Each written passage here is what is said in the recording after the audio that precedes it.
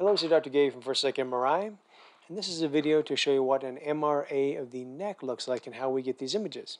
So this is where we start. These are the raw data images, the source images, and these are just regular old MRI images, but it's a special sequence where flowing blood looks really bright, really hyper intense we call that. And we take this data and subtract off everything that's not really hyper intense, and then we're left with images that look like this and we can subtract off everything around the edge and just be left with the blood vessels here.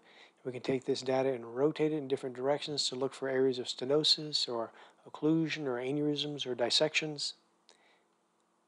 In particular, we look at these carotid bifurcations. This is the carotid artery coming up, branching, and we can also take the data and subtract off some of these blood vessels and just be left with the posterior circulation, which is right here. So here we just have the vertebral arteries coming up to form the basilar artery.